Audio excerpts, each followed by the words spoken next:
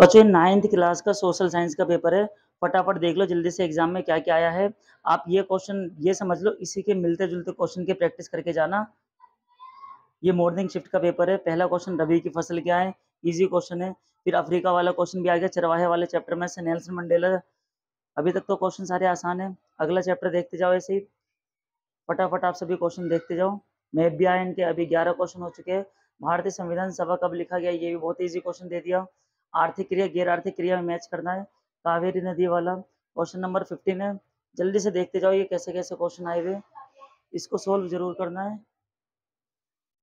Question number seventeen eighteen nineteen twenty सब एक ही टाइप के। क्वेश्चन नंबर इक्कीस से आर्थिक गतिविधि, बहुत आसान क्वेश्चन है। आसान क्वेश्चन दे दिया मैं ये इसके अलावा नदी प्रदूषण वाला क्वेश्चन है। क्वेश्चन नंबर बाईस, अठारहवीं शताब्दी में रूई सोलह वाला क्वेश्चन आ गया रंग भेद क्या है? कृषि आधुनिकरण तकनीक, सहायक नदी अगर आपने पढ़ा है तो ये पेपर आपका बहुत इजी जाने वाला है। हरित क्रांति, ये तो बहुत ही इंपॉर्टेंट था।